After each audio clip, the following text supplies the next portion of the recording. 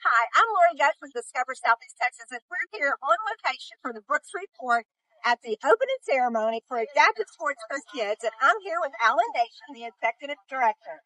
So, Alan, talk about the organization.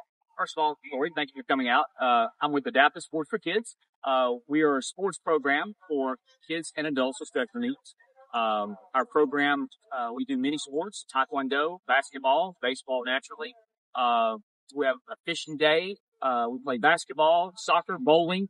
Uh, we do that throughout the year, do different seasons. Yeah. Um, our program is, is from kids from the age of three, and there's no limit at, at the top.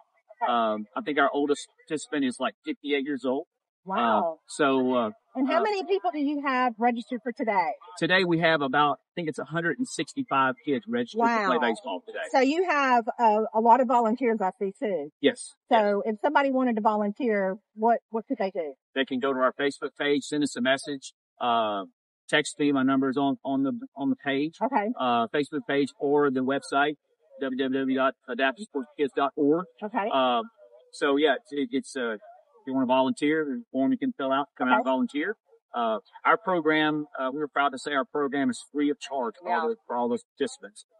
It, it's a program, uh, you know, that's, uh, uh, near and dear to my heart and, uh, you know, I'm passionate about it and, uh, you know, just give, give these kids and adults something to do, something that, you know, everyone else just takes for granted that they Yeah. get to do. That's right. So, uh, Yeah. uh, we're very, very pleased and happy with done so far. Well, good. Well, I'm excited. Had such a great turnout, Yep. and so uh, really proud that this is, you know, part of our community. I So, appreciate it very much. Well, thank you so right, much. thank you. And thank you for joining us on Discover Southeast Texas, where I know area of people, places, and events that make this community great.